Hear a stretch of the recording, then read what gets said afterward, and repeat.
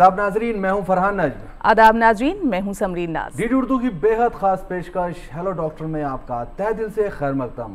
Programme hello doctor में हम आपको दिखाते हैं आपकी सेहतमंद ज़िंदगी का राज ताकि आप बदल सके अपने जीने का अंदाज। नाजरीन मिर्ज़ा गालिब ने क्या खूब कहा है? दिल नादान तुझे हुआ क्या है? आखिर इस दर्द की दवा क्या है? वाकई नाजरीन, दौरे हाजिर में ये जो आपा धापी भरी हुई ज़िंदगी है, इतनी मसरूफियात से भरपूर है और जहनी तनाव में यह मौजूद है तो कहीं ना कहीं कब हमारे दिल नादान को कुछ हो जाए, कोई मर्ज़ घेर ले, पता ही नहीं चलता है। वैसे भी नाजरीन गुज्त कुछ बरसों में हम देख रहे हैं कि दिल के अमराज में मज़ीद इजाफा ही हो रहा है। नाजरीन, हमारा जो पूरा जिसम है, इसमें सबसे अहम उज्व है हमारा दिल।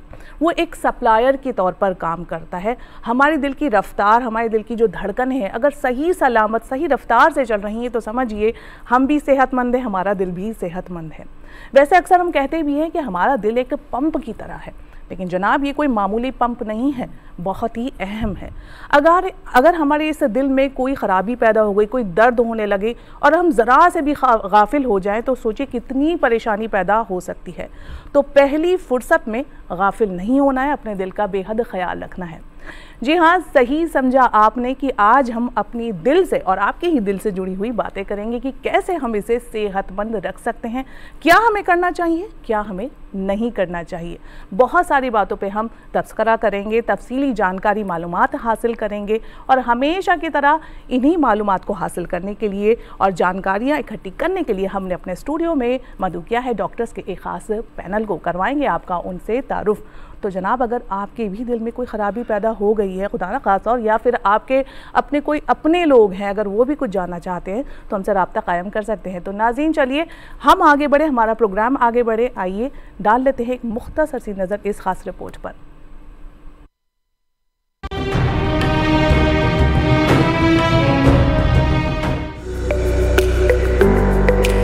नाजरीन, हमारे जिस्म का हर एक उज्व अहम और अच्छी सेहत के लिए ज़रूरी है, लेकिन हमारे दिल को मरकजी हैसियत हासिल है, इसीलिए इसका शुमार आजाए रईसा में किया जाता है। दिल का सेहतमंद होना अच्छी सेहत की गारंटी है, लेकिन इसके लिए कुछ तदाबीर और एहतियात की ज़रूरत होती है। हमारा दिल जिस्म का एक निहायत अहम हिस्सा और पट्टों का मजमुआ है, जिसका काम इंसानी जिस्म के हर हिस्से तक खून और ऑक्सीजन पहुंचाना है।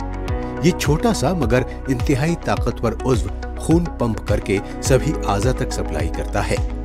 एक मुट्ठी के बराबर हमारा दिल एक मिनट में सत्तर बार और एक दिन में तकरीबन एक लाख मरतबा धड़कता है और हर धड़कन के वक्त सिकुड़ता और फैलता है। कुदरत का हैरत अंगेज निज़ाम है कि दिल माँ के पेट में ही ज़िंदगी के तीसरे हफ़्ते में धड़कना शुरू हो जाता है और फिर धड़कन का ये सिलसिला ज़िंदगी भर बगैर किसी वक्फे के जारी रहता है। गर्ज ये कि इंसानी जिस्म में ये वाहिद उज्व है, जिसकी हरकत पर इंसानी ज़िंदगी की बका है। जिस्म को खून पहुँचाने वाली नसें पैदाइश के वक्त चाइनीज़ सिल्क की तरह होती है। जैसे जैसे हम गलत गजाएँ खाते हैं ब्लड प्रेशर ज़्यादा रहता है तंबाकू नोशी और एक्टिव तर्ज ज़िंदगी न होने की वजह से ये नसें अंदर से खुरदुरी होना शुरू हो जाती हैं, जिसकी वजह से ये तंग हो जाती हैं और इनमें से खून जाने का रास्ता कम से कम हो जाता है। इसके सबब जिस्म के जिस हिस्से में खून पहुँचना चाहिए वहाँ नहीं पहुँच पाता और इसका नतीजा दिल की बीमारी के शक्ल में सामने आता है। काबिल गौर है कि इस छोटे से पंप स्टेशन में कुदरत ने हंगामी हालत से निपटने की भी सलाहियत रखी है। यानी ये अपने आप ही अपनी मरम्मत भी कर लेता है। जब हम आराम की हालत में होते हैं तो उस वक्त भी हमारे दिल के पट्टे सख्त मेहनत कर रहे होते हैं। आज के दौर में दिल की बीमारी आम होती जा रही है और दुनिया भर में हर साल कई लाख अफराद दिल की बीमारियों के सबब अपनी जान गंवा देते हैं। लिहाजा दिल की अच्छी सेहत के लिए बेदार होना बेहतर है। उमूमन दिल की बीमारियाँ उस वक्त शुरू होती हैं जब खून गाढ़ा हो जाता है और खून की नलियों में कोलेस्ट्रॉल और चर्बी जमा होनी शुरू हो जाती है। इससे खून पहुँचाने वाली नलियों में खून बहने का रास्ता तंग हो जाता है और दिल को मुनासिब मकदार में ऑक्सीजन नहीं मिल पाती। पहले दिल की बीमारी या तकलीफ़ ज़्यादा उम्र में होने का अंदेशा रहता था, लेकिन अब नौजवान भी इसका शिकार हो रहे हैं और तशवीश की बात यह है कि देखने में तंदुरुस्त अफराद हार्ट अटैक या कार्डियक अरेस्ट से अपनी जान गंवा रहे हैं। इसके अलावा गैर सेहतमंद गजा, यानी ज़्यादा चिकनाई वाली और तली हुई चीज़ों का इस्तेमाल, वज़न का ज़्यादा होना, सुस्त तर्ज ज़िंदगी, दिल की सेहत खराब करते हैं। चलते या सीढ़ियाँ चढ़ते हुए सांस का फूलना, पैरों में सूजन, ज़्यादा थकान, ये दिल के मर्ज की कुछ अलामत हो सकती हैं। लिहाजा इस सूरत हाल में डॉक्टर से मशवरा करना ज़रूरी है। दिल की अच्छी सेहत के लिए सबसे पहले सेहतमंद गजा इस्तेमाल करें, जिसमें ताज़ा फल और हरी सब्ज़ियाँ शामिल होनी चाहिए। पाबंदी से हल्की वर्जिश करें और एक्टिव तर्ज ज़िंदगी अपनाएँ। दिल की अच्छी सेहत और उसे लायक बीमारियों के बारे में बेदारी पैदा करने के लिए हर साल 29 सितंबर को आलमी योम कल्ब यानी वर्ल्ड हार्ट डे, मनाया जाता है।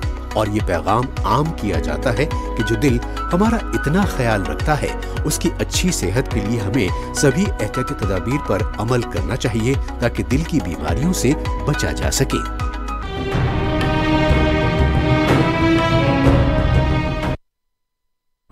तो जैसे कि नाजरीन, हमने इस रिपोर्ट में भी देखा कि मुट्ठी बराबर, ये करामाती दिल कितना अहमियत का हामिल है। और हम भी ये भी देख रहे हैं फ़रहान के गुज्त कई सालों में जो है, दिल के मरीज़ों में जो है वो इजाफ़ा हुआ है और लोगों को ये काफ़ी मुतासर कर रही है ये बीमारियाँ। और कहीं ना कहीं अब कोई एज लिमिट भी नहीं रही है। अब नौजवानों को भी दिल के मर्ज हो रहे हैं। ये बहुत ही फ़िक्र की बात है कि पिछले कुछ सालों में हम देख रहे हैं किस तरह से जो दिल के मरीज़ हैं, वो बढ़ते जा रहे हैं। ये इनकी क्या वजह है? इन सब जो आज के टाइम में देखा जा रहा है कि दिल के मरीज़ बढ़ रहे हैं तो इसके पीछे क्या वजह है? या बहुत सारी कौन सी ऐसी वजूहत हैं? इसे भी समझना बेहद ज़रूरी है। तो आज दिल को सेहतमंद रखने के लिए, दिल के बारे में समझने के लिए, किस तरह आप दिल को अच्छा रख सकते हैं, सेहतमंद रख सकते हैं कौन कौन से अमराज ऐसे हैं जो आपके दिल पर अटैक करते हैं? इन सब बातों पर गुफ्तु करने के लिए हमारे जो माहरीन स्टूडियो में मौजूद हैं, हम उनसे आपका तारुफ़ करा देते हैं। हमारे साथ मौजूद हैं डॉक्टर नीतीश नायक, जो कि प्रोफेसर हैं department of cardiology AIIMS Delhi में। हमारे साथ मौजूद हैं doctor Girish MP. Doctor Girish MP, मैं स्वागत करता हूँ आपका। डायरेक्टर प्रोफेसर हैं department of cardiology GB Pant hospital में। हमारे साथ मौजूद हैं डॉक्टर ईशर जो कि प्रोफेसर हैं, कंसल्टेंट हैं हेड ऑफ़ द डिपार्टमेंट हैं। Cardiology department Safdarjung hospital, Delhi में। तीनों एक्सपर्ट्स का बेहद शुक्रिया प्रोग्राम में शिरकत के लिए। प्रोग्राम की शुरुआत डॉक्टर ग्रीश मैं आपसे करूँगा। यहाँ पर बात हो रही है दिल को दुरुस्त रखने के लिए, तंदुरुस्त रखने के लिए। सबसे पहले मैं आपसे जानना चाहता हूँ किस तरह से हमारा जो दिल है, वो पूरे जिस्म को हमारे चलाता है और कैसे ये फंक्शनिंग होती है इसकी और कौन कौन सी ऐसी अमराज हैं कौन कौन सी ऐसी परेशानियाँ हैं जो हमारे दिल पर अटैक करती हैं, जो हमारे दिल को अपनी जद में ले सकती हैं और कैसे इनसे हिफाजत की जाए? डॉक्टर गिरीश।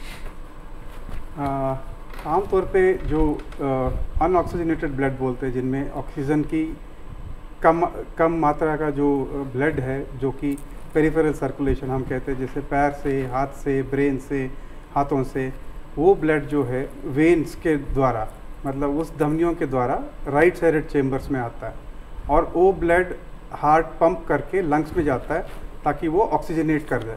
तो ऑक्सीजनेट का मतलब जो रसा जो कार्बन डाइऑक्साइड है उसको हटा के ऑक्सीजन डाल के फिर पूरा बॉडी को लेफ़्ट साइड के द्वारा आ, सब जगह जाता है। हाथ में ब्रेन में किडनीज में पैरों पे।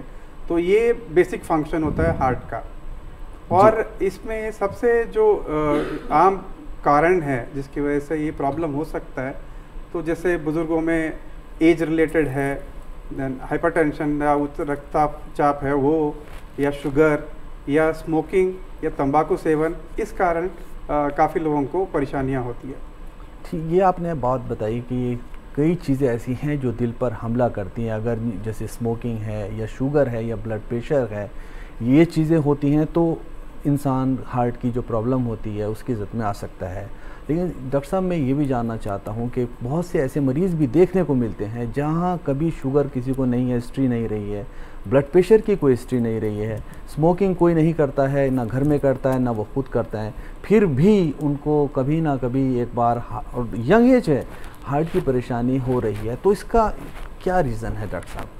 यंग एज में one of the important risk factor जो एक इंपॉर्टेंट रिस्क फैक्टर है स्ट्रेस ओके स्ट्रेस या तो घरेलू स्ट्रेस है जी या कॉलेज में पढ़ाई का स्ट्रेस है जी। या काम काज का स्ट्रेस है जी, जी, तो एक one of the important factor है। That can lead to you know heart attack Okay. और दूसरा कारण होता है कई बार अ, ये जो फैमिली में रन करता है जिसमें कोलेस्ट्रॉल बहुत हाई होता है। इनमें भी हार्ट अटैक होने का संभावना थोड़ा सा हाई रहता है जी जी यहाँ पर समझें जैसे कि डॉक्टर साहब ने बताया कि शुगर बीपी और जो आपकी और अमराज हैं ये तो हैं ही हम्म। लेकिन एक जो स्ट्रेस है यानी कि जो दिमागी परेशानी है जो कि परेशानी है किसी भी वजह से हो जी, सकती जी, है वो घरेलू वजह से हो हम्म। सकती है या रोज़गार की वजह से हो सकती है ये भी बचना इनसे बेहद ज़रूरी है क्योंकि ये भी हार्ट के मर्ज की तरफ़ ले जा सकते ले हैं। जा सकते हैं। जैसे कि आपने भी बताया कि बज़ाहिर कोई अ, मतलब परेशानी नहीं है कोई मर्ज नहीं है। इसी को मैं आगे बढ़ाना चाहूँगी और डॉक्टर नीतीश आपकी तरफ़ आएँगे। बज़ाहिर आप सेहतमंद हैं कोई परेशानी नहीं दरपेश है अच्छी खासी ज़िंदगी चल रही है लेकिन बहुत से लोगों के दिल में ये कशमकश भी रहती है वो ये जानना भी चाहते हैं कि अगर अ, हम ठीक हैं हेल्दी हैं तो भी क्या हमें कोई हिडन प्रॉब्लम दिल से जुड़ी हो सकती है? अगर ऐसा है तो हमें क्या करना चाहिए? क्या छोटे छोटे वो रोज़मर्रा के स्टेप्स हैं जिन्हें हम अपना कर फॉलो कर कर अपने दिल की सेहत को अच्छा कर सकते हैं? ये बहुत इम्पोर्टेंट सवाल है कि हम अपने दिल की कैसे देखभाल कर सकते हैं हम कैसे कर सकते हैं कि हम अपने दिल को तंदुरुस्त रखें। जी। तो इसके लिए हम बोलते हैं केवल सात सिंपल स्टेप्स हैं जिसको आपको अपनी लाइफ में फॉलो करनी है जिससे आप अपने हृदय का देखभाल कर सकते हैं। और उसमें से हम इनको जो चार इम्पोर्टेंट स्टेप जो हम खुद कर सकते हैं वो होता है कि आप एक तो धूम धूम्रपान मत करिए। जी। धूम्रपान से कई कई चीज़ें होती हैं जो हृदय को अफेक्ट करती हैं और ये नहीं कि आप खुद स्मोक करें। हम इसको बोलते हैं सेकेंड हैंड स्मोक यदि और कोई भी स्मोक कर रहा है तो यदि आप उस एरिया में हैं तो वो आपको अफेक्ट कर सकता है। हम्म, दूसरा है कि आप अपना वज़न का ध्यान रखें। वज़न भी एक बहुत इंपॉर्टेंट फैक्टर है जिससे आपको हार्ट अटैक हो सकता है ब्लड प्रेशर हो सकता है शुगर हो सकता है तो इसका ध्यान रखना बहुत ज़रूरी है। तीसरी चीज़ होती है आप एक्टिव रहें फिज़िकली एक्टिव रहें। फ़िज़िकल एक्टिविटी अब बोला जाता है कि एक इतना इंपॉर्टेंट फैक्टर है क्योंकि टीवी देख रहे हैं लोग अपने मोबाइल फ़ोन में हैं वो अपने गेम्स नहीं खेल रहे हैं। तो जब ये सब आपकी एक्टिविटी कम हो रही है तो बोलते हैं physical activity is equal to smoking मतलब यदि आप टीवी पे बैठ के सोफे बैठ के देख रहे हैं तो ये स्मोक करने के बराबर है। हम्म, चौथी चीज़ है कि आप अपना अपना, नींद का ध्यान रखें। स्लीप बहुत इंपॉर्टेंट है। और बाकी जैसे आपने फैक्टर्स बोले शुगर का ब्लड प्रेशर का कोलेस्ट्रॉल का, इनका भी ध्यान रखना है। पर ये इंपॉर्टेंट रख, ध्यान रखने की चीज़ है कि यदि आपको बीमारी है या नहीं है, ये सब चीज़ें आपको ध्यान रखना यदि आपको प्रॉब्लम नहीं भी है तो इतना ही इंपॉर्टेंट है कि आप इन सब फैक्टर्स पे ध्यान रखें, इन पे अमल करें। और हो सकता है इन सिंपल स्टेप से आपको ज़िंदगी भर हृदय की कोई विशेषज्ञ की ज़रूरत ना पड़े। ये बहुत ही अच्छी और खूबसूरत बात बोली आपने कि इन सेवन स्टेप्स का अगर ध्यान रखा जाए तो काफ़ी हद तक उम्मीद की जा सकती है कि आने वाले वक्त में आप हार्ट के मरीज़ नहीं रहेंगे और आपकी ज़िंदगी बेहतर गुजरेगी। डॉक्टर ईशर आपकी तरफ़ आना चाहूँगा यहाँ पे। डॉक्टर साहब ने बहुत ही अच्छी बात बताई है, जो प्रोग्राम देख रहे हैं इस वक्त उसको समझेंगे और ये सेवन स्टेप्स बहुत ही अहम है, उन पर अमल करेंगे, ऐसी हमारी उम्मीद है और ऐसे हम दुआ भी करते हैं। यहाँ मैं आपसे जानना चाहता हूँ कि किस तरह से हार्ट की जो बीमारियाँ हैं, अमराज हैं, वो किस तरह से मरीज़ को होती हैं कौन कौन सी बीमारियाँ हैं? दूसरा ये, जिस तरह से आज के दौर में हम देख रहे हैं, और कोविड के बाद ख़ास तौर से हम बात करेंगे कि जो हार्ट के मरीज़ बढ़ते जा रहे हैं तो हमारे मुल्क पर इंडिया में किस तरह से बर्डन पड़ रहा है उन मरीज़ का? अगर हम अपने सेहत का और हार्ट का ख्याल नहीं रखेंगे और कैसे इसको सही किया जाए? मौजूदा दौर की बात कर रहा हूँ आज की बात कर रहा हूँ। देखिए हार्ट के जैसे अभी डिस्कस हुआ कि हार्ट का मेन काम तो ब्लड पंप करना है। जी। और हार्ट खुद भी कुछ अलग अलग चीज़ों से बना होता है। हार्ट में मसल है हार्ट में एक इलेक्ट्रिकल सिस्टम है जो हार्ट रेट को चलाता है। जी डॉक्टर साहब। हार्ट में ब्लड वेसल्स हैं जिनमें ब्लॉकेज की प्रॉब्लम हो सकती है। जी। ये हार्ट में वेल्व्स होते हैं जो। वेल्व में खराबी आ जाती है चार वेल्व्स होते हैं हार्ट में चार चैम्बर होते हैं चार वेल्व्स होते हैं। तो ये हार्ट जिन चीज़ों का बना होता है उन हर स्ट्रक्चर में हार्ट के प्रॉब्लम्स हो सकती है। ओके। सबसे मेन इंपॉर्टेंट है नसों की प्रॉब्लम जी। जो हार्ट की आर्टरीज होती है। हार्ट की आर्टरीज में अगर ब्लॉकेज आता है ओके। तो उसमें उसमें जो हार्ट की आर्टरीज में सिकुड़न होती है उससे अंजाइना या हार्ट अटैक की प्रॉब्लम ये होती है मेन प्रॉब्लम हार्ट की मसल वीक हो जाती है तो उसमें हम बोलते हैं कि जो कार्डियोमायोपैथीज हैं जिसमें हार्ट फेलियर के ज़्यादा चांसेस होते हैं वो प्रॉब्लम होती है। Okay okay. दूसरा हार्ट तीसरा हार्ट का इलेक्ट्रिकल सिस्टम है। हार्ट के इलेक्ट्रिक सिस्टम में अगर कुछ प्रॉब्लम होती है तो हार्ट ब्लॉक या हार्ट की धड़कन तेज होना ये। ये प्रॉब्लम्स हो सकती है। ओके। और वेल्व्स हैं हार्ट के चार वेल्व्स होते हैं उन चारों वेल्व्स में सुकड़न भी आ सकती है लीकेज भी हो सकती है। जी। जो मोस्ट कॉमनली हम बोलते हैं रूमेटिक हार्ट डिसीज जी। जो बच्चों में होता है इन्फेक्शन के बाद होता है। ओके। तो ये डिफरेंट डिफरेंट टाइप्स की बीमारियाँ इसके अलावा कंजेनाइटल बीमारियाँ होती हैं जो पैदाइशी बीमारियाँ होती हैं। जी। जो जन्म से ही होती हैं। जन्म में हार्ट के स्ट्रक्चर में डिफेक्ट्स होते हैं। जी। जो डिफेक्ट्स होने से डीऑक्सीजनेटेड ब्लड है जो वो ऑक्सीजनेटेड ब्लड आपस में मिक्स होते हैं तो ऑक्सीजन की कमी होती है। जी। और कुछ वेल्स में सुकड़न जन्म से भी हो सकती है तो ये डिफरेंट डिफरेंट टाइप्स की हार्ट की प्रॉब्लम्स हैं। इनके लिए रिस्क फैक्टर्स अभी बताए गए हैं और ये डिफरेंट डिफरेंट एज में होती हैं। कंजेनाइटल प्रॉब्लम बचपन में होती है रूमेटिक हार्ट डिसीज़ पाँच साल से पंद्रह साल के बच्चों में शुरुआत होती है वो ग्रेजुअली बढ़ता है। जो हार्ट की नसों में ब्लॉकेज की प्रॉब्लम है वो 25-30 साल के आसपास में स्टार्ट होता है उसमें कोलेस्ट्रॉल जमा होना प्लाक जिसको हम बोलते हैं वो प्लाक धीरे धीरे बढ़ता है। जी। जब वो 80-90 परसेंट से ज़्यादा हो जाता है तो उसमें अनजाइना के सिम्टम आने लगते हैं। जी। तो हार्ट अटैक और हार्ट फेलियर ये हमारी जो मेजर प्रॉब्लम्स हैं जो हिंदुस्तान में या पूरे वर्ल्ड में भी जी। जो हार्ट अटैक से रिलेटेड और हार्ट फेलियर से रिलेटेड प्रॉब्लम्स हैं जो पूरी इकोनॉमी को इफ़ेक्ट करती हैं पर्सन की फैमिली को इफ़ेक्ट करती हैं सोसाइटी को इफ़ेक्ट करती हैं जी, जी। और पूरी कंट्री की सेहत को इफ़ेक्ट करती जी बिल्कुल करती हैं। आपने यहाँ बहुत सारे अमराज की बात की आपने बताया किस तरह से हार्ट की परेशानी बढ़ती है और किस तरह से ब्लॉकेज भी आ सकता है ये सारी बातें बताई। डॉक्टर साहब लेकिन एक कुछ ऐसे केसेस भी देखे गए हैं कि अचानक से किसी यंग इंसान के सीने में दर्द हुआ और उसका उसको हिस्ट्री नहीं है हार्ट की कभी वो कहीं हॉस्पिटल नहीं गया कभी उसने चेकअप नहीं कराया उसे ब्लड प्रेशर भी नहीं है इवन उसे शुगर भी नहीं है। लेकिन अचानक उसके दर्द हुआ उसे हॉस्पिटल ले गया। जब हॉस्पिटल में उसका चेकअप हुआ तो डॉक्टर ने उसको कहा कि इनका जो हार्ट है वो बहुत हद तक फ़ंक्शन नहीं कर रहा है। ये किन हालात में हो जाता है डॉक्टर साहब? डॉक्टर ईशर हार्ट की जो सडनली प्रॉब्लम्स होती है जो चेस्ट पेन वो हार्ट अटैक का सिम्टम है। ओके। हार्ट अटैक के सिम्टम्स होते हैं चेस्ट में पेन होना जो चेस्ट के बीच में होता है। जी। दोनों हाथ में फैलता है पीछे कमर में भी होता है। जी। और वो पर्सन को पहले से भी हो सकता है और पहली बार भी हो सकता है। ओके। okay. कई बार अंजाइना रहता है थोड़े टाइम तक उसके बाद वो हार्ट अटैक में कन्वर्ट होता है। जी। या हार्ट अटैक स्टार्टिंग से भी हो सकता है एक हार्ट की नसों में जो प्लाक जमा होता है कोलेस्ट्रॉल जमा होता है जी डॉक्टर वो रप्चर होता है वो वहाँ पे एक खून का थक्का जमता है जी। और खून खून का थक्का जमने से हार्ट की आर्टरीज पूरी ब्लॉक हो जाती है। ओके। उसको 100 परसेंट ब्लॉक होती है तब उसको हार्ट अटैक कहा जाता है। तो जिस एरिया में ब्लड सप्लाई होती है उस एरिया का ब्लड सप्लाई कट ऑफ़ हो जाता है। जी। और वो हार्ट हार्ट की पंपिंग वीक हो जाती है। ओके, तो हार्ट। अटैक कई तरीके से प्रेजेंट करता है। चेस्ट पेन है सांस की प्रॉब्लम है हार्ट फेलियर से भी प्रेजेंट कर सकता है। सडन कोलैप्स से भी प्रेजेंट कर सकता है क्योंकि उसमें हार्ट की आपको यहाँ मैं रोकना चाहूँगा। असल में कोई कॉल कर रहे हैं कॉलर वो आपसे बात करना चाहते हैं। जी हेलो हेलो हेलो जी बताइए आपकी आवाज़ हमें मिल रही है। आपका फ़ोन करने के लिए शुक्रिया। बताइए क्या सवाल है आपका? मैं की बात कर रही हूँ दिल्ली से। जी जी बताएँ। इसलिए ना आजकल बहुत ज़्यादा केसेस आ रहे हैं कि हार्ट से की बहुत यंग एज में लोगों को प्रॉब्लम हो रही है। पता भी नहीं चल रहा है मतलब लाइक बिल्कुल हेल्दी होते हैं और। ऑल ऑफ़ सडन पता चलता है कि भाई हार्ट अटैक आ गया या कुछ भी ऑल ऑफ़ सडन सब कुछ हो रहा है और सबसे बड़ी बात आजकल बहुत यंगस्टर्स को हो रहा है तो ऐसे हम क्या प्रिकॉशंस ले सकते हैं ओके, जिससे ओके। कि हम इस डिज़ीज़ से बच पाए? राइट बहुत अच्छा सवाल है इनका। डॉक्टर नायक आपके पास आऊँगा। मैं यहाँ पे ये जानना चाह रहे हैं कि आज के दौर में जिस तरह से हार्ट की परेशानियाँ बढ़ रही हैं क्या ऐसे एहतियाती तदाबीर हैं प्रिकॉशंस हैं हम लेकर अपने को सेफ़ रख सकते हैं? तो जैसे मैंने बताया था कि जो सात स्टेप्स हैं ये बहुत इंपॉर्टेंट हैं कि आप अपने डेली लाइफ में आप फॉलो करें। आप खान पान का ध्यान रख ध्यान रखें रहने का ध्यान रखें कि आप कैसे क्या कैसे चल रहे हैं कितना वॉक कर रहे हैं कितना एक्सरसाइज कर रहे हैं। आप वो आप हफ़्ते में कम से कम आधे दिन एक्सरसाइज कर आधे घंटे एक्सरसाइज करिए और थोड़ा बहुत आप अपने वेट को ध्यान दीजिए। स्मोकिंग अवॉइड करिए स्लीप पे ध्यान दीजिए स्ट्रेस से फ्री रहिए। पर इसके अलावा जो इम्पोर्टेंट चीज़ है वो है कि आप अपना कई एक आध बार आपका चेकअप होना चाहिए, क्योंकि जैसे ब्लड प्रेशर है ब्लड प्रेशर एक ऐसी बीमारी है जिसको हम बोलते हैं साइलेंट किलर कई मरीजों को यही नहीं मालूम होता कि वो ब्लड प्रेशर के मरीज़ हैं, और केवल जब बहुत ज़्यादा ब्लड प्रेशर होकर उनको कुछ हार्ट फेलियर हो जाता है स्ट्रोक हो जाता है हार्ट अटैक होता है, तब पता चलता है. तो एक आपका ये चेकअप होना बहुत ज़रूरी है कि आपको अपना ब्लड प्रेशर मालूम होना चाहिए. आपका शुगर भी आपको एक कभी ना कभी आपको एक बार टेस्ट कराना चाहिए। यंग हम बोलते हैं जब आप कॉलेज में जा रहे हैं, जब आपके ये बेसिक मेडिकल टेस्ट होने चाहिए, बल्कि स्कूल में भी एक बार आपका फ़िज़िकल एग्जामिनेशन होना चाहिए। और ऐसे ही आपको एक बार अपने कोलेस्ट्रॉल पे भी ध्यान देना चाहिए।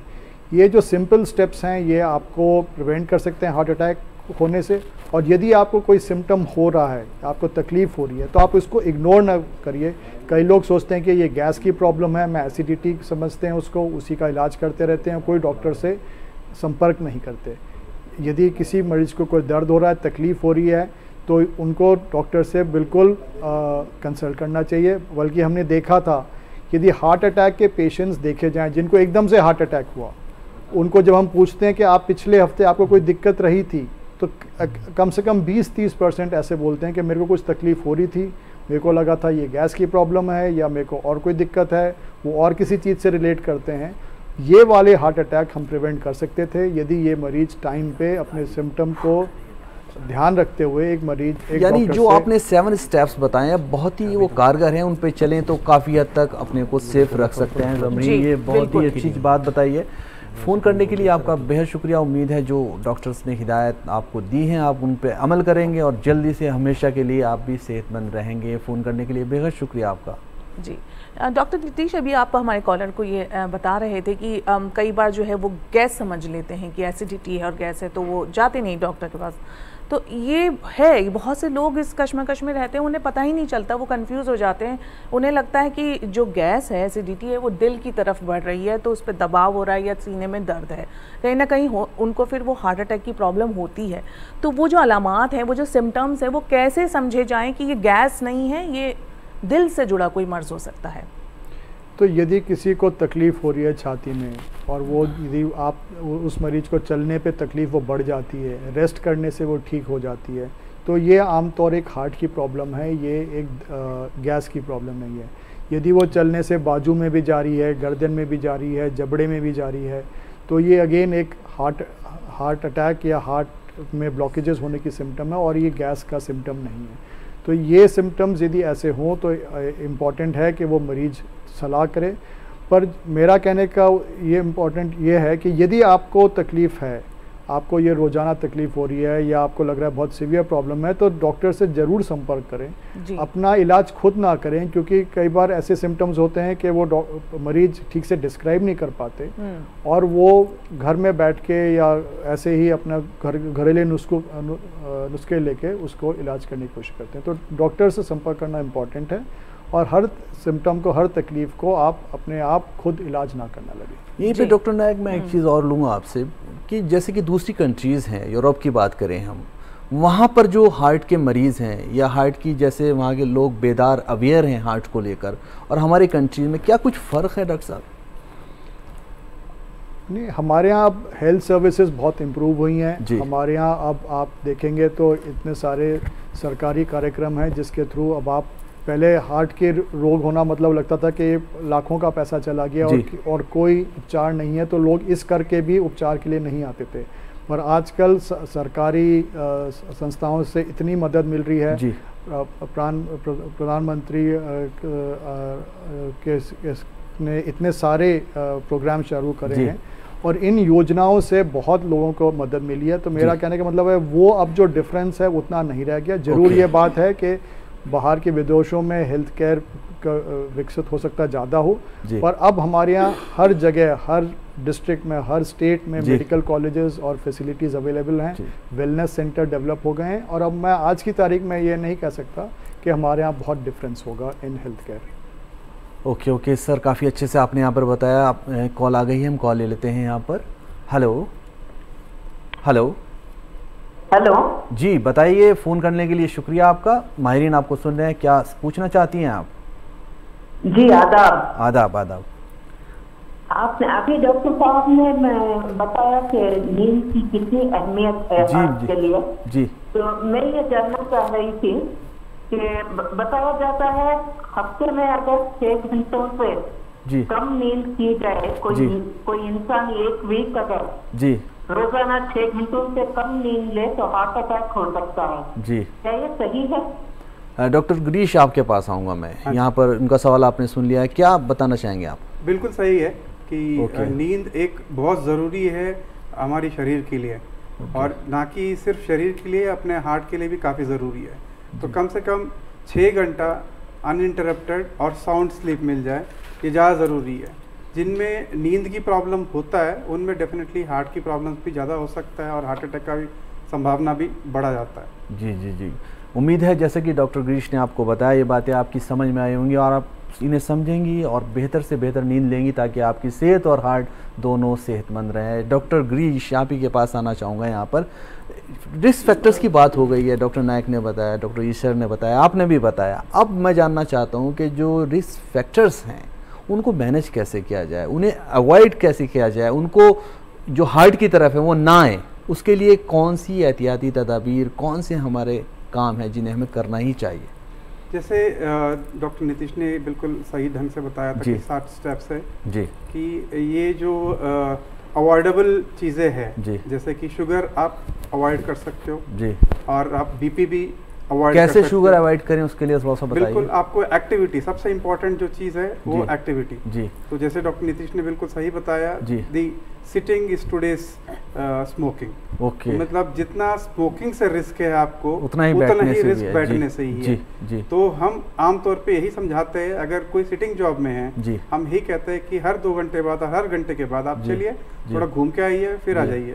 कंटिन्यूसली मत बैठिए। और कंटिन्यूसली बैठने से एक तो आपका वज़न बढ़ जाता है। जी। वज़न की वजह से इंसुलिन का जो काम है जी। वो कम हो जाता है बॉडी में जी जी। और उसकी वजह से आपको शुगर डेवलप हो सकता है। ओके तो आपको एक्सरसाइज करने से अब तो एक तो वज़न आपका कंट्रोल में रहेगा। जी। That will help you in preventing diabetes onset of diabetes जी। और दूसरा अगर यही exercise will help you in controlling your blood pressure also BP कम करने में भी ये मदद करता है। मददगार है। जी जी तो जी। अगर जिसको बीपी नहीं है अगर आपको प्रिवेंट करना है ये दोनों को तो एक्सरसाइज से बढ़िया चीज़ कोई भी नहीं है। जी जी जी और तीसरा बॉडी वेट कंट्रोल करना बहुत ज़रूरी है। ये भी मेरा ख्याल से चलने जब चलेंगे चलने की आदत होगी तो उस पर भी ये भी मैनेज होगा। बिल्कुल बिल्कुल।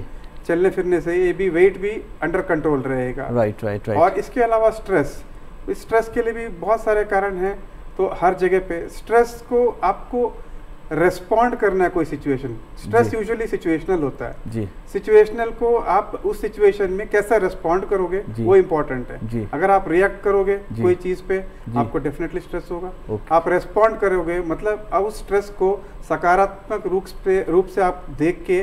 उसी हिसाब से आप रेस्पॉन्ड करोगे। जी। और इसका कई उदाहरण है जो स्ट्रेस कम करने के लिए। जी। एक होता है आपका मेडिटेशन जी। एक होता है आपका योगा और इवन एक्सरसाइज जी। आपका walking itself is a big stress buster जी। और कई लोगों को कुछ कुछ इंटरेस्ट होता है अपना अपना इंटरेस्ट होता है जैसे किसी को सिंगिंग इंटरेस्ट है किसी को म्यूज़िक सुनना पसंद आता है किसी को किताब पढ़ना पसंद आता जी, है जी। किसी को जस्ट टीवी देखने से पसंद आता है। तो अपने अपने एक साधन कर सकते हैं ताकि वो अपना स्ट्रेस लेवल कम मतलब स्ट्रेस को अवॉइड करना है। स्ट्रेस बहुत ही खतरनाक है हार्ट के लिए पूरे जिस्म के लिए तो उसे अवॉइड करना चाहिए। और जो हिदायत जो चीज़ें डॉक्टर साहब ने बताई हैं उन्हें फॉलो करना चाहिए। कहने मुख्तसर बात यह है कि हरकत में बरकत है। अगर जिस्म को आप हरकत में रखेंगे तो सेहतमंद रहेंगे। कई तरह के जो मुख्तलिफ़ अमराज हैं उनसे भी निजात पाई जा सकती है। इसी के साथ एक कॉलर जुड़ रहे हैं। हेलो हेलो जी आपको आवाज़ मिल रही है? हेलो हेलो जी इस्तकबाल है आपका हमारे प्रोग्राम में। मैम आप सबको गुड इवनिंग जी जी। मैम हमें ये पूछना अपने फादर के बारे में पूछना है। जी बताइए। हमारे पापा की एज साठ साल है फिफ्टी ईयर हम्म, उनको क्रॉनिक हाइपरटेंशन है और इस कारण किडनी में भी थोड़ा प्रॉब्लम हो गई है। वन पॉइंट सिक्स उनका क्रिएटिनिन रहता है। जी। सर तो वो ईसीजी और इको करवाए थे सर।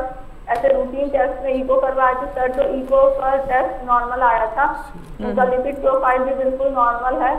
नॉर्मल लिमिट है और सर लेकिन टीएमटी करवाए थे तो टीएमटी माइल्डली पॉजिटिव आई थी। कार्डियोलॉजिस्ट को दिखाए थे। सर फिर माइल्डली पॉजिटिव आई थी लेकिन सर किडनी में प्रॉब्लम के कारण डॉक्टर ने कहा है कि एंजियोग्राफी से अभी बचना चाहिए 1.6 क्रिएटिनिन है तो रिस्क नहीं लेना चाहिए।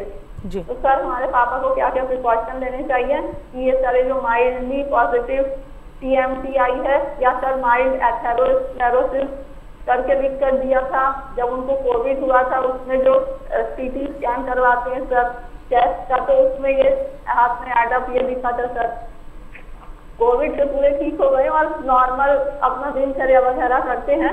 नॉर्मल बाकी उनकी चीज़ें सब नॉर्मल वगैरह तो सर उनको क्या प्रिकॉशन लेने चाहिए? जी जी तो उनको क्या एहतियाती तदाबीर अपनानी चाहिए अपनी ज़िंदगी में डॉक्टर नीतीश? आपने जैसे बताया आपके पिताजी को ब्लड प्रेशर है और उनको क्रेटिनिन हल्का सा बढ़ा हुआ है और बाकी इनके टेस्ट नॉर्मल है। तो ऐसा है कि यदि इनको कोई छा, चलने में छाती में दर्द या भारीपन या सांस फूलना नहीं हो रहा तो इनको कोई कोई भी एंजियोग्राफी की ज़रूरत नहीं है। देखिए, एंजियोग्राफी एक टेस्ट ऐसा है, वो उनके लिए किया जाता है जिनको चलने में छाती में भारीपन दर्द हो रहा है, उनको या तो हार्ट अटैक हो गया है या पहले हो चुका है, और चलने से इनका भारीपन या दर्द हम दवाई से ठीक नहीं कर पा रहे। ये ये जो ट्रेडमिल टेस्ट ही करना वैसे आपके फादर के लिए ज़रूरत नहीं थी, पर यदि करा है और माइल्ड पॉजिटिव आया है तो हमको इनके लिए एंजियोग्राफी एडवाइस करने की कोई ज़रूरत नहीं है। एक चीज़ आप ज़रूर याद रखिए, क्योंकि यदि ब्लॉकेजेस किसी को हैं और ऐसे ही हम लोग किसी का टेस्ट करके निकाल, उसमें पता चलती है तो उसमें ना सर्जरी, ना स्टेंटिंग की ज़रूरत होती है, वो दवाइयों से ही कंट्रोल करा जा सकता है। तो ये बहुत एक इंपॉर्टेंट इन्फॉर्मेशन है, जिसको आपको याद रखें। पर इसके साथ आपको ध्यान रखना है कि इनका ब्लड प्रेशर ठीक से कंट्रोल हो उनका शुगर ठीक से यदि शुगर है तो शुगर का ध्यान रखा जाए कोलेस्ट्रॉल यदि बढ़ा हुआ है या नहीं बढ़ा हुआ है उस पर भी ध्यान रखें और इसी से हम इनके एक एक बिल्कुल एक हेल्दी लाइफ दे सकते हैं और आगे हृदय रोग से बचा सकते हैं। जी। लोगों को एक बिलीव है कि सीटी स्कैन हर साल कराना चाहिए या हर एक नॉर्मल आदमी का भी सीटी स्कैन करना चाहिए वो बिल्कुल गलत है। ऐसे यदि हम टेस्ट करेंगे तो हम अननेसेसरी एक तो टेस्ट अननेसरी है और उसके साथ फिर जो रिज़ल्ट आते हैं, उसके साथ मरीज़ कर बाकी इंटरवेंशन जैसे सर्जरी स्टेंटिंग से कोई फ़ायदा नहीं होता। जी बहुत बहुत शुक्रिया आपका हमसे जुड़ने के लिए। डॉक्टर साहब ने जो आपको हिदायत दी है, जो सलाह दी है, उस पर अमल करें। शुक्रिया। डॉक्टर इशर आपकी तरफ़ आएँगे और आपसे ये जानना चाहेंगे कि बहुत से लोगों को सडन कार्डियक अरेस्ट और हार्ट अटैक में फ़र्क नहीं मालूम होता। ज़रा आम लफ्ज़ों में, आम अल्फाज में हमारे नाजरीन को समझाएँ। आम लोगों के लिए ये समझना ज़रूरी है कि हार्ट अटैक और कार्डियक अरेस्ट ये दोनों अलग चीज़ें हैं।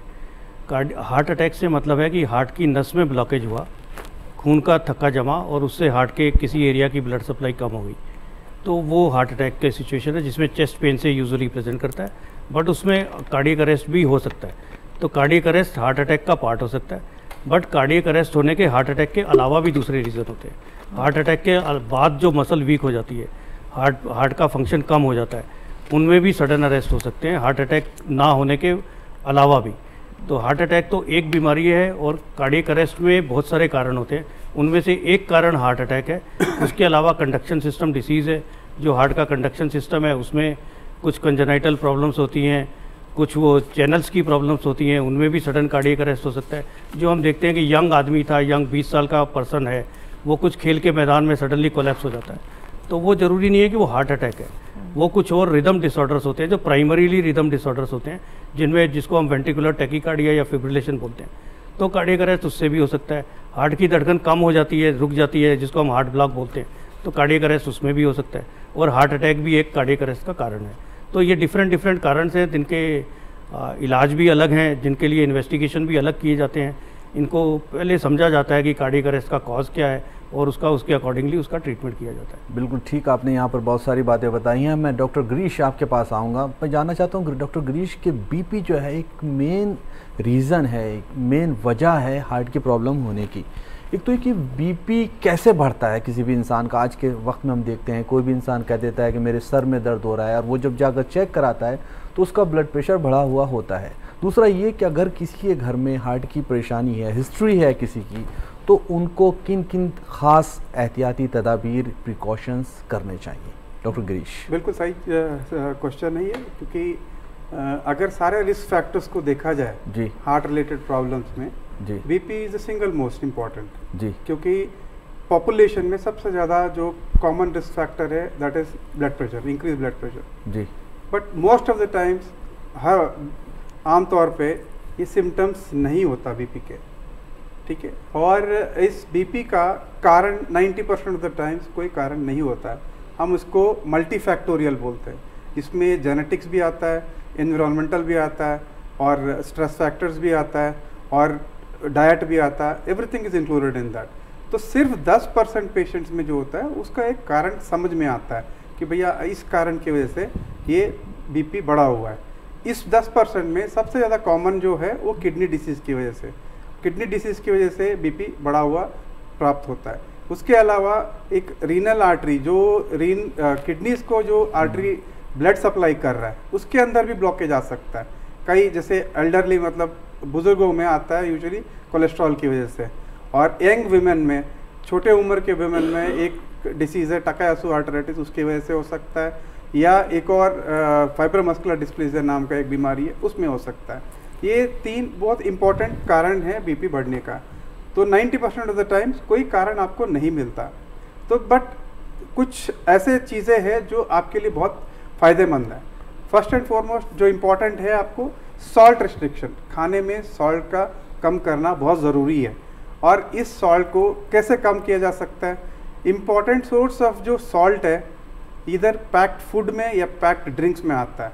तो अगर आप पैक्ड फ़ूड और ड्रिंक आप अवॉइड करोगे तो सॉल्ट ऑटोमेटिकली कम हो जाएगा। जी डॉक्टर ग्रीश इसको हम जारी रखेंगे। एक कॉलर भी जुड़ रहे हैं। हेलो हेलो जी खैर मकदम है क्या आपका हमारे प्रोग्राम में? हाँ हेलो जी हेलो आपकी आवाज़ मिल रही है। हाँ हाँ।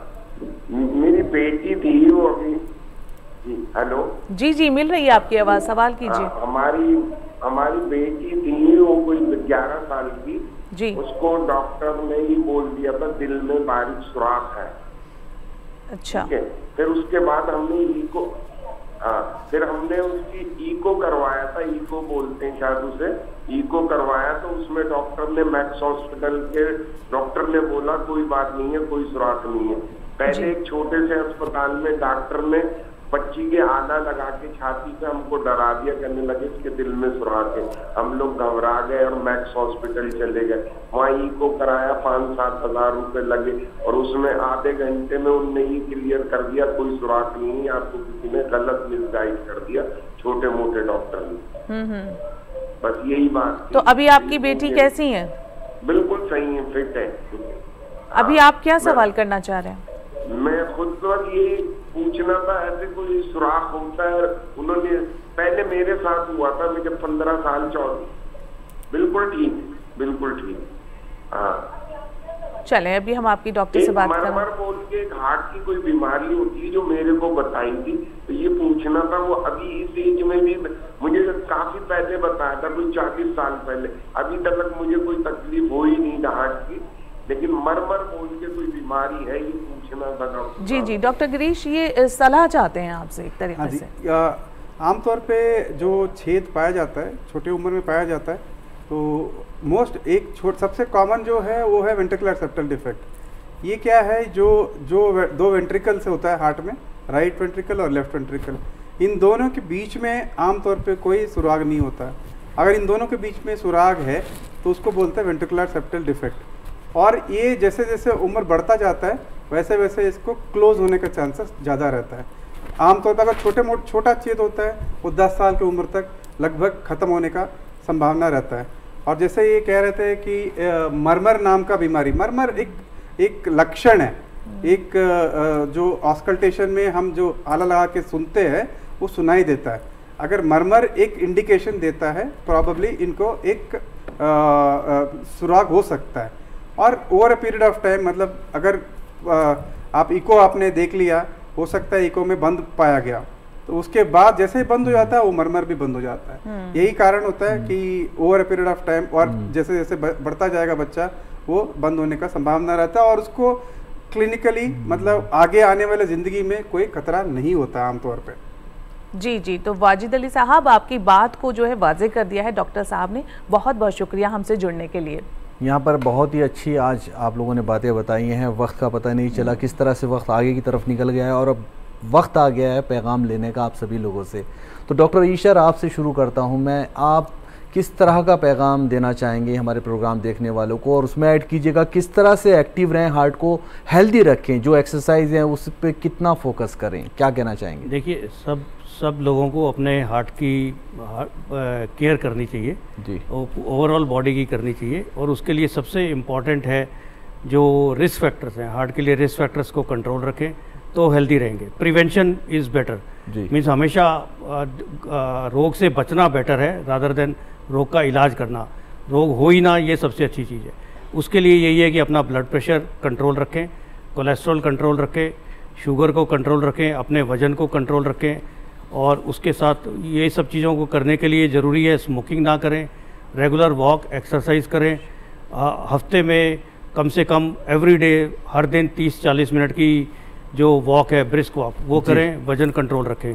ओके। और उसके उसके अलावा अपना जो स्ट्रेस लेवल स्ट्रेस लेवल के लिए ऑलरेडी बात हुई है वो उसको कम रखें। जी। और जो भी अपना रेगुलर चेकअप कराएँ। Regular checkup time to time कराते रहें। रिस्क फैक्टर बहुत अहमियत है रेगुलर चेकअप और रेगुलर चेकअप से जैसे ही पता चले बीमारी उसको इग्नोर ना करें लापरवाही ना करें।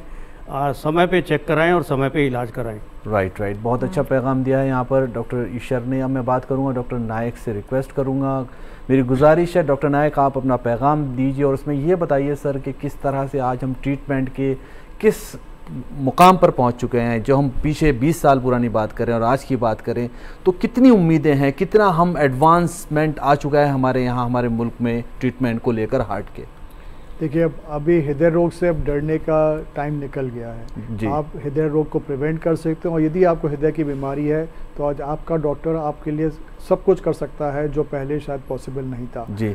आपके लिए स्टेंट सर्जरी बलूनिंग जो भी है वो हो सकती है, उसमें कोई घबराने की ज़रूरत नहीं है। पर इंपॉर्टेंट ये है कि आप अपने सिम्टम को रिकग्नाइज़ करें और टाइम से डॉक्टर के पास पहुँचें। हमने जो सबसे इंपॉर्टेंट फैक्टर देखा है तो मरीज़ अपने इलाज के लिए खुद नहीं पहुँचता और यदि पहुँचता है तो बहुत लेट पहुँचता है। तो ये इंपॉर्टेंट है कि आप अपनी बीमारी से ना डरें। यदि आपको तकलीफ़ है तो अपने डॉक्टर से पूरी सलाह लें और हम आज की तारीख में मेरे, मेरा तात्पर्य है कि आपको अपनी आप, हम बहुत आगे निकल चुके हैं बहुत आगे निकल चुके हैं और आपको पूरा स्टेट भी आपको इतनी हेल्प कर सकता है कि आज की तारीख में हृदय रोग एक आम बीमारी बन चुकी है और इसका अच्छा। इलाज आराम से हो सकता है। घबराने की ज़रूरत नहीं है बहुत उम्मीदें हैं। बस देखभाल रखें अपना जो चीज़ें आप बता रहे हैं उन पर अमल करने की ज़रूरत है। लास्ट में मैं आऊँगा डॉक्टर गिरीश आपके पास। आपसे मैं रिक्वेस्ट करूँगा आप अपना किस तरह से पैगाम देना चाहें उसमें ये भी ऐड कीजिएगा कि जिन लोगों को शुगर है या हाई ब्लड प्रेशर है या जिनकी फैमिली हिस्ट्री है हार्ट की उन्हें किन बातों का ध्यान रखना चाहिए? सबसे ज़रूरी बात यही है कि जो सात स्टेप्स हमने पहले डिस्कस किए हैं जी। तो आप एक्सरसाइज करते रहिए जी। और रेगुलर एक्सरसाइज और अच्छी मात्रा पे करिए। कम से कम डेढ़ डेढ़ सौ मिनट हर हफ़्ते आपको करना चाहिए। और आपको exercise brisk walk is the best brisk walk में आपको ब्रिस्क वॉक का मतलब है लगभग 10 मिनट में एक किलोमीटर आपको चलने की कोशिश करना चाहिए। अगर यदि आपको कर नहीं पा रहे जितना आपसे हो सकता है उतना तेज आपको चलना चाहिए।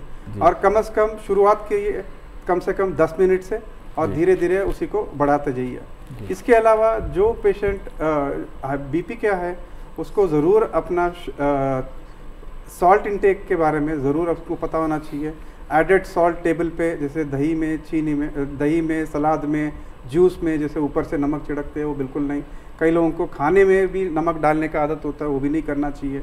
और इसके अलावा शुगर वाले पेशेंट्स को कार्बोहाइड्रेट्स तो ये बहुत ज़रूरी है आपको एनर्जी के लिए। बट कार्बोहाइड्रेट्स जो सिंपल कार्बोहाइड्रेट्स होता है उनको अवॉइड करना चाहिए। सिंपलेस्ट एग्ज़ाम्पल आपको maida maida is a simple carbohydrate उसको अवॉइड करना चाहिए। आपका होल ग्रेन जैसे आटा है बाजरा है ज्वार है इन चीज़ों का सेवन करना आपको कोशिश करना चाहिए। और अगर आपको शुगर है आप मेडिसिन ले रहे दवाइयाँ ले रहे दवाइयाँ निश्चित रूप पे लेना चाहिए। मैंने एक चीज़ नोटिस किया है जो लोग आमतौर पे कई लोग बीपी कंट्रोल हुआ, छोड़ देते हैं शुगर कंट्रोल हुआ, छोड़ देते। हैं बट ये समझना ज़रूरी है कंट्रोल इसलिए हुआ है क्योंकि मेडिसिन आप ले रहे हो। जिस दिन आप बंद कर देंगे, फिर से आपका शुगर या बीपी बढ़ जाएगा। तो दवाइयाँ नियमित रूप से लेना है और अगर आपको कम करना है, बंद करना है कंसल्ट करिए अपने डॉक्टर को, बात करिए, सलाह मशवरा करिए, उसके बाद ही आप एक डिसीज़न लीजिए कि आपको बंद करना है कि नहीं करना है। जी। अपना खुद इलाज नहीं करना चाहिए जिस तरह से एक्सपर्ट्स बताते हैं जिस तरह से माहरीन बताते हैं उस पर अमल करना चाहिए क्योंकि दवाओं से ही आप ठीक रह सकते हैं। अगर आपको खुदा न खास्ता परेशानी हो गई है तो इस पर अपनी राय खुद मत कीजिए डॉक्टर से राय लीजिए ये मेरा कहना है। तीनों एक्सपर्ट्स का बेहद शुक्रिया प्रोग्राम में शिरकत के लिए। आपने आकर इतनी बहुत ही अच्छी अच्छी बातें बताई कितने कीमती मशवरे दिए। बेहद शुक्रिया आप तीनों का। जी बेहद शुक्रिया। एक मरतबा फिर से आप तीनों का ही और आप तीनों की बातों से हम ये इत्तेफाक रखते हैं कि वाकई अपने दिल को अगर सुकून पहुंचाना है तस्कीन देनी है तसल्ली देनी है तो ये तसल्ली में तभी आएगा हमारा दिल जब हम इसका पूरा ख्याल रखेंगे इसकी सेहत का ख्याल रखेंगे। जैसे कि तीनों ही एक्सपर्ट ने फरहान ये भी कहा कि prevention is better than cure और सिम्टम्स को समझना बेहद ज़रूरी है कि क्या अलामत पेश आ रही है हमारे दिल में कोई मर्ज तो पैदा नहीं हो गया है। बहुत ज़रूरी है इसके साथ ही हम क्या खा पी रहे हैं क्या हमारी गज़ा है और क्या हमें जो एक्सरसाइज है वो करनी है कितना चलना है सारी ही चीज़ों का बेहद ध्यान रखने की ज़रूरत है। बहुत ही अच्छी जानकारी और फ़ायदेमंद जो मालूम है वो फराहम की है हमारे नाजरीन को। तो नाजरीन, आज का ये जो टॉपिक था, ये जो मौजूद था, हमारे आज का हेलो डॉक्टर का जो ये मौजूद था, आपको पसंद आया होगा। इस पर जो तफसीली जानकारी हमने हासिल की है एक्सपर्ट से उससे आप मुफीद होंगे, आप फैजियाब होंगे, ऐसी हम उम्मीद करते हैं। तो चलते चलते, जैसा हम हमेशा आपसे कहते हैं कि अगर आपके जहन में भी कोई सवाल है तो आप हमें ईमेल कर सकते हैं। हमारी ईमेल आईडी है hello doctor D D Urdu at the rate of gmail dot com. इसके साथ ही आप हमारा ये जो प्रोग्राम है, वो डी डी उर्दू के यूट्यूब चैनल पर भी देख सकते हैं। तो टिप्स ऑफ़ द वीक के साथ आपको छोड़े जा रहे हैं। रखिए अपना और अपनों का खास ख्याल और हमें दीजिए इजाज़त। आदाब। आदाब। दिल हमारे जिस्म का एक ताकतवर और अहम हिस्सा है। दिल का काम जिस्म के सभी आज़ा तक खून और ऑक्सीजन पहुंचाना है। दिल की मरकजी अहमियत के सबब इसकी अच्छी सेहत का ख्याल रखना लाजमी है। दिल की अच्छी सेहत के लिए मुतवाजन खुराक ताज़ा फल और हरी सब्जियों का इस्तेमाल करें। पाबंदी से हल्की वर्जिश करें और एक्टिव तर्ज ज़िंदगी अपनाएँ। कोलेस्ट्रॉल बढ़ाने वाली, ज़्यादा चिकनाई वाली गजा से परहेज करें। तंबाकू नोशी और शराब नोशी से भी दिल की सेहत पर बुरा असर होता है। अपने वज़न को कंट्रोल में रखें।